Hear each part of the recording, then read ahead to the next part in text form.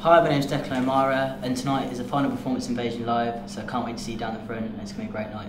Have reported hearing some bizarre noises.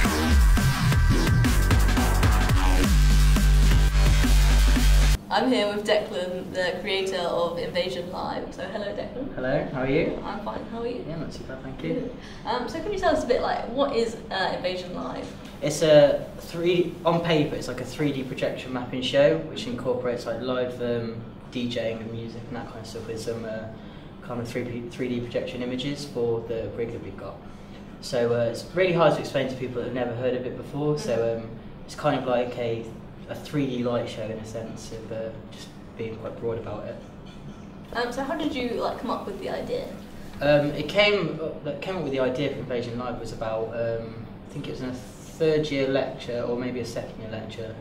Uh, so I just did my first um, projection mapping show, which was like a, just on a couple of cardboard boxes and that kind of thing.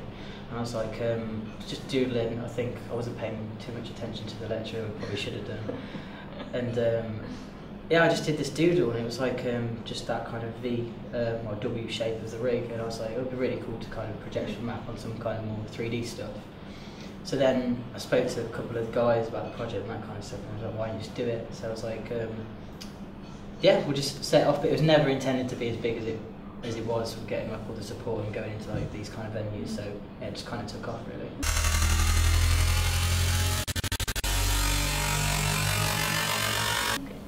Um, do you have any advice for like if anyone um, watching has any ideas that they want to make?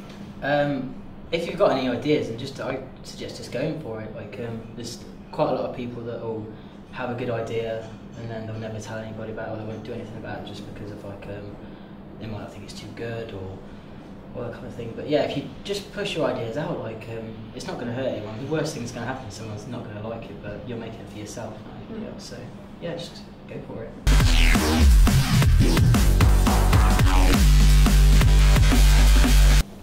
So obviously, like your job at the minute is quite exciting. Mhm. Um, so what would you say is the best part of it? Um, best part of my job. Uh, I'd say the best part is travelling. Mm. So I get to go into all these different countries and performing and that kind of stuff. But then it's got a downside of it is to the like logistics of travelling. Like I hate airports, hate waiting, and just long flights and like customs and that kind of stuff is like thing. But yeah, I'd say travelling, getting to meet new people and just places where you never thought you'd be. So um, yeah, just like travelling, really meeting new people.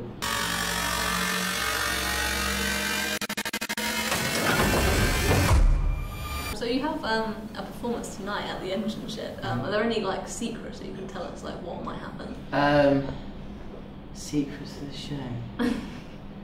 uh, there's a lot of um, pyrotechnics I've never used before, so um, expect like some really loud bangs and like. Uh, I would say pyrotechnics because that could be a broad thing. like, it could be God knows what. Yeah, we've got like pyrotechnics and stuff. Um, um, it's pretty much a whole, like a pretty much a brand new show which has never been seen before, which is like a secret in itself.